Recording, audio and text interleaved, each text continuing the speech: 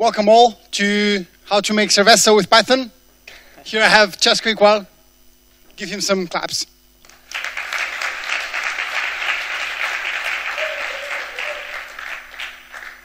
Well, thank you for being here. Welcome all. Uh, my name is Chesco Igual. I am a backend developer at Elements Interactive. Uh, it's a company from the Netherlands. Um, I'm going to talk uh, about how to make a, how to brew beer with Python more or less. So uh, there are some things that I, I, would like you to, to leave here, to leave this room with some ideas, and um, some of them are. I, I would like to know, you to know how to build an IoT backend. Which are the technologies, the protocols, and the tools that are out there. And I will do some comparatives so you get to know what's out there and also which is the one that may fit you best if you have to do a project like this.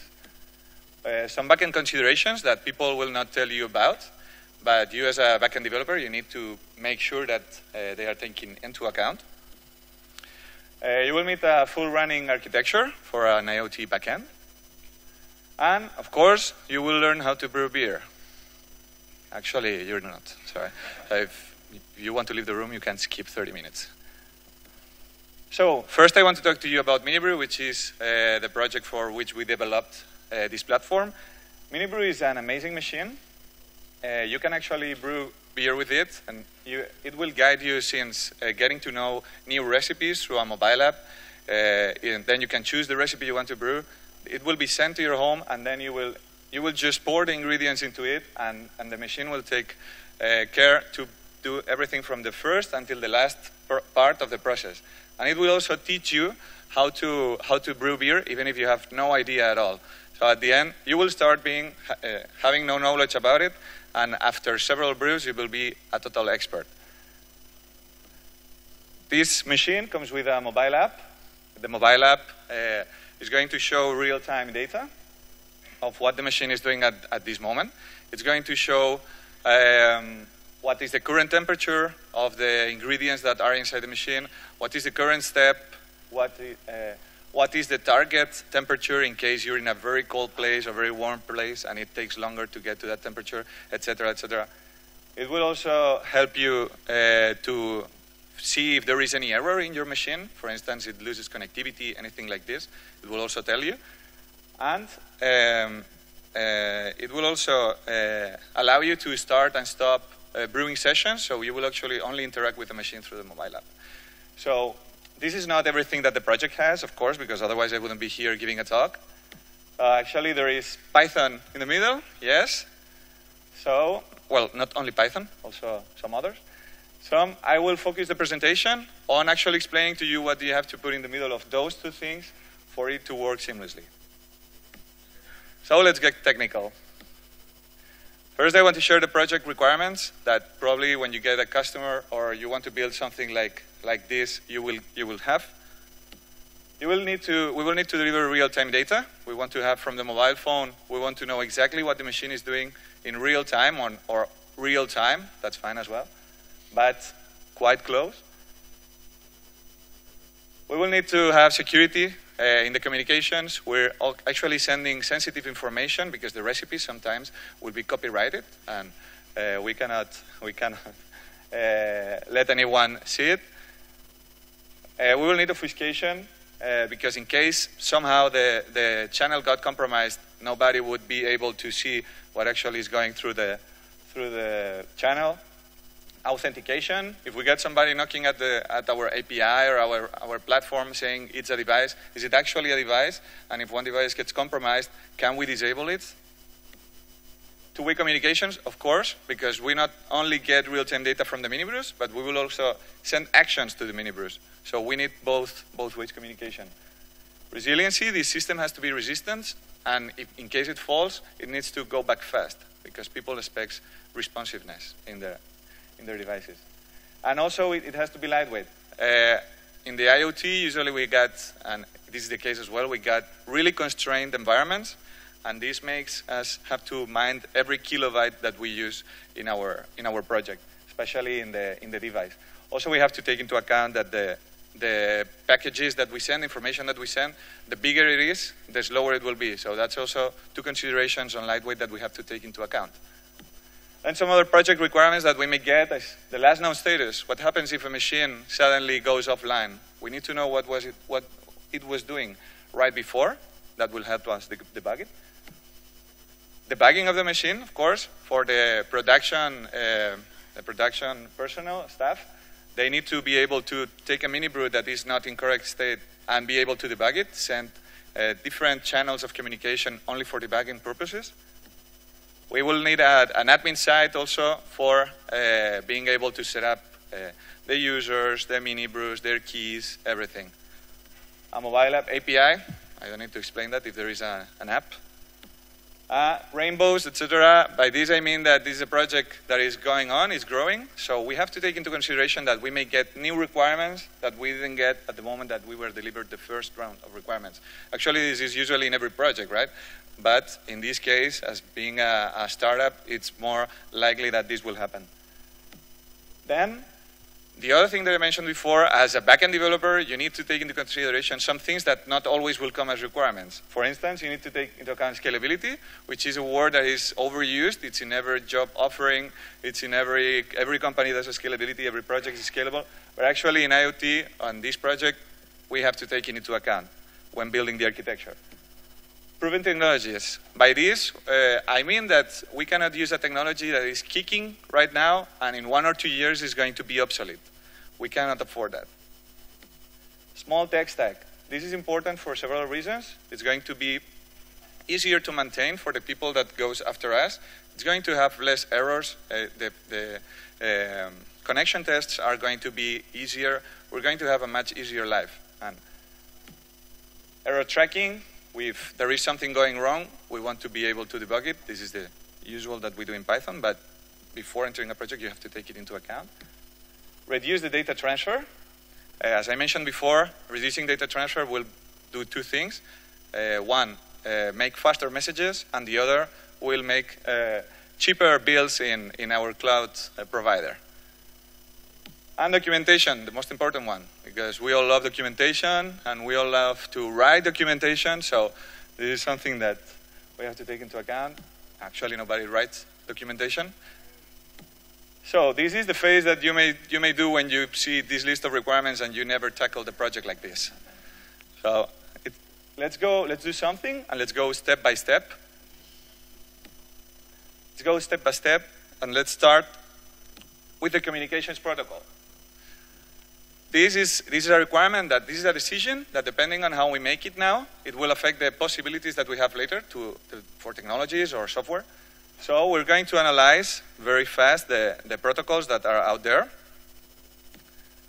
Uh, there are some of them that are already out of scope, like we are not even considering them because of uh, throughput.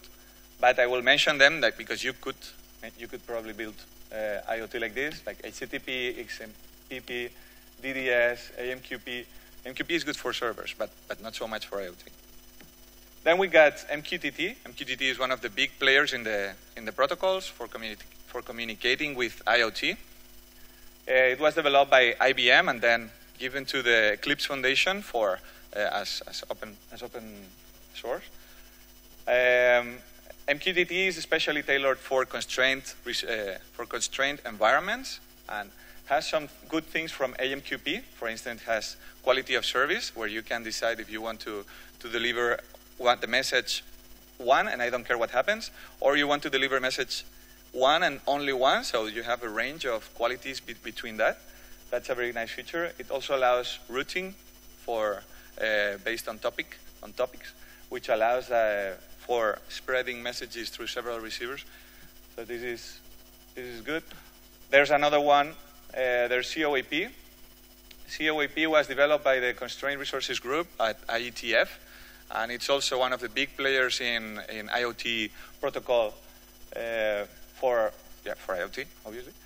So um, COAP is slightly different. It uses more client-server configuration uh, and uses HTTP verbs, even though it's not HTTP, so it doesn't have its disadvantages. Both are targeted for very constrained environments, but uh, even though they are very similar in that, they are very different in some other things. So, for instance, they are very different in the way that MQTT uses a broker in the middle, and everyone connects to it as a client. So then you can do PubSub and all, all of this kind of stuff. And COAP uses a client server both ways. So then that's a, a big difference already. Another thing is that MQTT uses long-lived TCP connections, while COAP uses UDP. So this is already another big difference. Uh, for these reasons, actually probably you could do with both, but for these reasons we, we chose MQTT. So now that we have our protocol, it's time to, to look for a solution.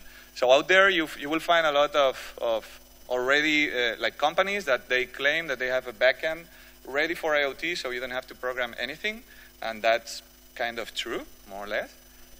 So uh, we're going to analyze one because there's not time for, for analyzing more. I want to analyze one of them, one of these comprehensive backend solutions, and see if it fits our our requirements. So I'm going to to analyze AWS IoT from Amazon and see if it's actually a good uh, a good choice for our for our case. I'm going to go very very fast through the through the through the architecture because uh, Amazon declined to sponsor my talk, so I will go very very fast. So there's some things that we like from, from Amazon. For instance, authentication, authorization, registry.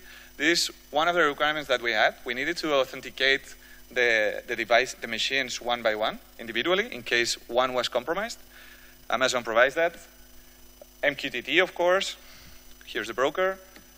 Device shadows. This was also a requirement for us. We needed to know the last known status. Here it is, provided out of the box.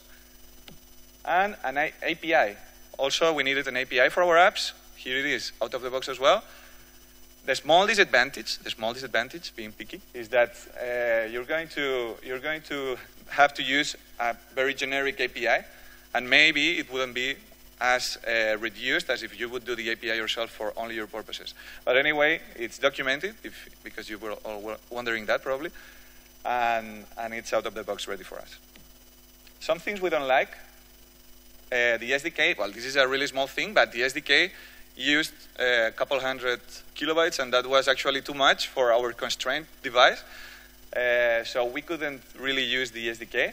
Actually, yeah. So in, probably in another project this wouldn't be a problem, uh, but in our case it was. Then there is the rules engine. Amazon, this is not a problem in itself, this is good, but it's good if you're using other Amazon products. Amazon makes it really, really easy to connect things between Amazon. You can send information, set rules, notifications, everything, queues. But only if you're inside Amazon. And if you're out, you need to do quite more work to connect it to your external uh, part of the platform. Another thing that we didn't like too much is that the applications have to connect using an API. And an API doesn't sound really too real time, right? Uh, having to do an HTTPS call every time that we need to to get the latest tick of information doesn't doesn't sound too good as well. So let's analyze the project requirements as we had them. Let's analyze what Amazon is is is achieving already out of the box. So we got security. It's a secure channel. We got authentication. We got two-way communication. We got good resiliency. Amazon claims they are very good at that, and I think they are. We got the last known status. We got an API. We got a lot of scalability, as much as your wallet can afford. We have proven technologies. Well, uh, proven technologies, Amazon has not been out there for long enough to be called a proven technology, but, I mean, IoT. But uh, there's a full team working on it, so we can be quite sure that it's not, the support is not going to be dropped in one year or two years. So we, that's why we tick the proven technology, because if they have bugs, they'll fix them at least we expect. And documentation, most important. So some things that Amazon doesn't provide us, it did, it, we're not happy with the way that they, they were giving us the option of real-time data. Uh, we don't have obfuscation because the data that we're sending is JSON. That's the format that is used. Uh, lightweight for the small reason that I commented before that we couldn't put the SDK into our device, but actually because we're using JSON, so we're actually sending more data than we should. I'll go to that later. Rainbows, etc. I didn't mark it. Well, actually, I marked it red because uh, it will be hard for us to implement new requirements if they do not fit nice into Amazon, because then we'll have to do them ourselves outside. Small tech stack. There are some things that we will not be able to do in that stack, like admin side, debugging, uh, all of that. So what happened? That we, at the end, we will have to have our own admin side, our own stack of technologies for having that running, and then we will end up having two big pieces of software: the one that is related to Amazon and the other one. So that this is why it cannot be considered like a really small stack. And then the reduced data transfer. If everything has to go through the server one, and the other we're using uh, JSON for this, it's not going to be considered like a reduced data transfer. So the conclusion for this is that you can use it, but only if it really matches what you want to do. Otherwise, let's check how to set up our own solution. So first thing is to get a broker. So we need to get a broker that supports MQTT, and we have like a lot of options, a lot of them. Uh, there is every week or two weeks probably there pops a new company that has an MQTT server. So I'm just going to show a few ones: ActiveMQ, Mosquitto, EMQTT, VerneMQ, HiveMQ, CloudMQ, RabbitMQ. So uh, there's not a lot of creativity in the names for these kind of companies. But uh, I mean, you could choose any that you wanted. Some are uh, pay you, you pay them and they are already uh, deployed. The others you deploy them yourself. But we chose RabbitMQ for going very fast for some reasons. It's been a top player for many years. It has scalability proven, both vertical, of course, and, and horizontal. It can convert from MQTT to other protocols, which is a goodie. It's not something that we require, but AMQP is something that, that servers like. There is no payment per use, and we were familiar with it, so this also counted. So that's what we chose this, but probably if you chose any of the others, it would be good as well. Now, we got an extra bonus for doing the, the broker ourselves, and is that now we can do PubSub, and uh, the mini brew can send the information to RabbitMQ, and the devices, all of them that they want to listen to the actual brewing session, they can be listening to, to, to Rabbit. So what mm, the information for real time doesn't need to pass through the server anymore. So what is, what is Python doing while the devices get real-time data? Chillaxing. There's no need to do anything. Now what? Let's talk to that broker. We got a broker, right? So we'll use Python now, finally. There is a library from Eclipse, from, and I promised myself I wouldn't show any code because this talk is beginner and also it's, it's very short in time. But now that I already showed it, let me go very fast through it. So uh, it's so easy as you only need to import the MQTT module and then you just set a few callbacks on connection, subscribe to a topic, on this connection, on message, do something with that message.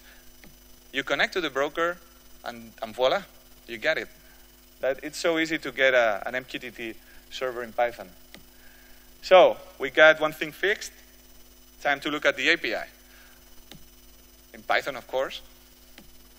So options. Here, I could go through all of the options, and actually, uh, there would be a lot of fights if we started a discussion.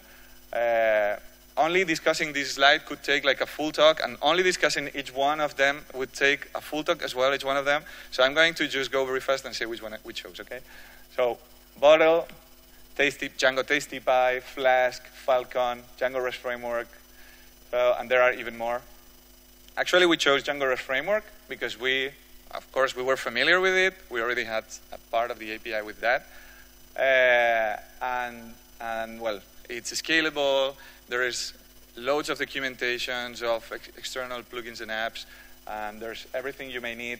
It, you can cache everything. So it's a really good. And now with the latest version that I just got to know a few days, a few days ago, uh, there's really good. Uh, there are some goodies like automatic documentation and stuff that you should really check out. So that's it. Oh, sorry. Okay, so uh, how are we doing right now after the choices? We got real-time data now. We got security, because through broker you can also connect to SSL. Two-way communication, thanks to MQTT. And we reduce the data transfer by skipping the going through the API. Some things we also got is the last known status because we because we program it. Now it's our API. we got the debugging, we can use the debugging, and we can use the admin side to help the, the staff debug the machines. We got the admin side with Django, of course. And we got the, the API we mentioned. We also got error tracking because we are familiar with tracking errors with Python, so that can be considered that it will be easier for us to debug Python than to debug any other stuff. So some other things we already got by using those, those two is resiliency and scalability, but this depends, of course, on how you do your DevOps, how you're going to deploy, you're going to deploy in clusters, et cetera, et cetera. But it's full of documentation of how to make these systems scalable, because they are very famous technologies. We got rainbows, et cetera. Sorry. We got rainbows, etc., because um, now it's Python and we can do everything we want with it. That's we all know that, right? And proven technologies, of course. Otherwise, we wouldn't be in this conference. Small tech stack. Now we got only these two pieces of software, and that we really understand. And some things that we still don't have. We don't have obfuscation. The messages are still being sent through JSON. We don't have authentication. The, everyone can connect to the broker and just start messing, messing up there. And we cannot say it's lightweight on the device because we uh, just sending messages to MQTT that's super light. We don't need any library for that. And, and it's also, but it's not lightweight that we're not sending the small amount of information. We're actually sending more information than needed. And documentation. It's fine, guys. It's full of documentation for these two things. So let's start solving the remaining parts. Authentication in Python as well. This, there is a really nice plugin for RabbitMQ. It may sound a little bit tricky. Let me explain it. It's a RabbitMQ authentication backend via HTTP. Okay? What does this mean? Now, when the device, uh, when the machine wants to connect to the broker, instead of the broker just saying, yeah, you can connect or you cannot connect, it will pass that information to Python and Python will check the database and say if that, that machine can actually connect or not. So then we don't need to have all that in the broker. It can be in our normal database. Nice. And response, and remember, it's a long-lived TCP connection, just once. That's really cool. This works for devices as well. So we checked another one. There's authentication now. So let's go for the last one. Obfuscated and lightweight messages. So how are we going to do this? With Python? No, with Google. So if you don't know protocol buffers yet, you should if you use any kind of API. Uh, it's a protocol from Google that actually, well, uh, this could take also another talk just to explain, but I will try to, to just go very fast and, and explain it. But as you see in this example, JSON, that the device could send to, to the server or, or or to the machine could send to the server or the device. You see there, in each one of these messages, there's going to be a lot of repeated information. You're going to send the ID every time, the ID string. You're going to send the timestamp by string. You're going to send the data, action, sensor one, sensor two. This is information that is going to be repeated over and over and over. And that's going to consume data. And that is also going to make it slower. So we don't want that. That's also is really easy to read. How are we going to solve this with protocol buffers? Protocol buffers, actually, what, what what it does is that this specification of how the message is built is shared between the parties that are communicating, but is not transmitted through the wire. So actually, you get the specification on both ends, and you only send the data that is different every time. If anybody from Google was here, probably they would shoot me because it, it's not really like this. But this is an example, so, so you see actually what is being transferred, yeah? This Google also didn't want to sponsor my talk. I don't know why, but so I'm not going to show you how it works. But uh, this is uh, really easy. You know, just build which fields your message will have if they are required, optional. So then you can change the requirements. They are always backwards compatible, and then you will not have problem uh, if you're upgrading the message that you sent and somebody is using an old spec. So how are we doing now? Of course, both things checked. We are happy with the solution now. This is a very, very small final architecture, very, very simple. But uh, you can see that we, we got the web servers, we got the, the three blocks that we talked about, uh, some endpoints for RabbitMQ, an MQTT listener and responder, and then we got the, the Django API um, for, the, for the devices. Then we also got the Rabbit broker for, for devices and machines, for the web servers, for to communicate. Uh, and of course, database, cache, and, and everything that is usually used in a, in a, web, in a web platform. So the, everything is scalable because everything is in the cloud. So, and everything, all of the, those technologies are easy to scale. So, this is it. Uh, the, this is already it. I was, uh, probably my boss is going to watch me on YouTube. So I, I want to tell you that I work, work at a really cool company called Elements Interactive. Uh, we work at uh, Barcelona in Spain and Almere in the Netherlands. So if you want to do cool projects like this, uh, be sure to enter and, or just contact me after the talk, and I'll be happy to, to explain what we do and how we do it. So thank you very much for your attention.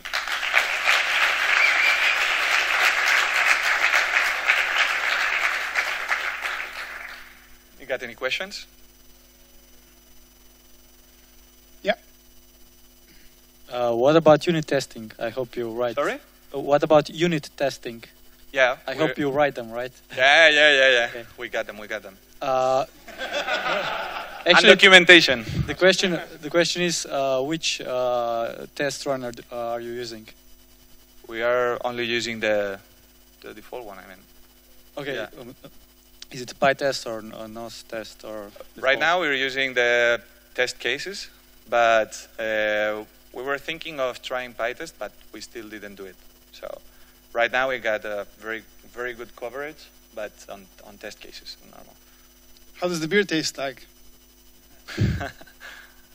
Uh, hi, I have one question. Do you have a hardware embedded security? Because I wonder, what if someone hacks the API and make like um, and increase the temperature and pressure makes like a remote bomb, essentially? or set the mini brew on fire, right? Yeah. Uh, actually, example. the mini brew is also intelligent, and and it does a validation of all the recipes, and so there is no there is no way that anything that could break the mini brew is accepted. Uh, actually, if you send a recipe to the mini brew and it finds it it's not good, uh, it will just answer that the, it could not be started with some information, of course. But but yeah, there's no no risk for bombs. So if you want to buy it, it's it's safe. Any more?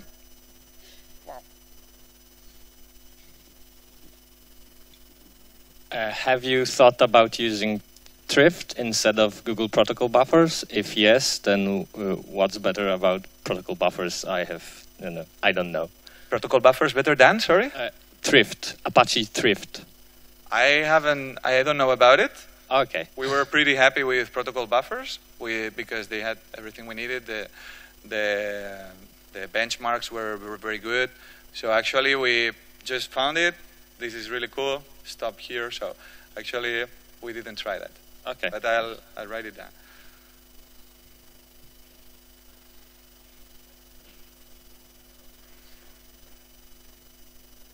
Hi, um, I was just wondering, what kind of data do you send from the mini brew to app? It's it's uh actually I'm I'm I don't really know exactly because that's more of a hardware thing, but there is like a zillion sensors around all the mini brew, pressure, uh, the, the, if there is water flowing around, which is the current status, if there is action spending from the user, what is the next thing that it's going to do. I mean, there's a lot of information.